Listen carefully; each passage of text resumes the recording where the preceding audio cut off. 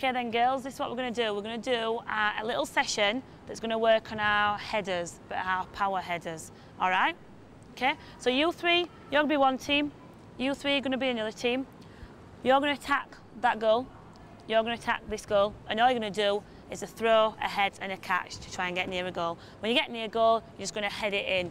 If you head it through the gate, all right, brilliant, but where do you think I might want you to head it? Corner. Corners, brilliant. Oh, she intercepted it, good, good. Oh, interception, good girls, well done. Oh, good head, well done. Oh, she's got it, she's got it. Come and get near goal, come and get near goal. Oh! If she's going to throw the ball to her, where do you think we're going to end up wanting to go? Brilliant. Great stuff. All right, let's go. Where are you going to go? That's it. Where are you going to go now? Good. How can we go forward? Oh, good interception.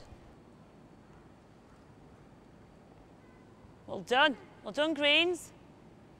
Oh, great effort. Good. Well done, girls. Can we move forward? Good. Well done. Great, Edda. Can we get in? Yes. Well done.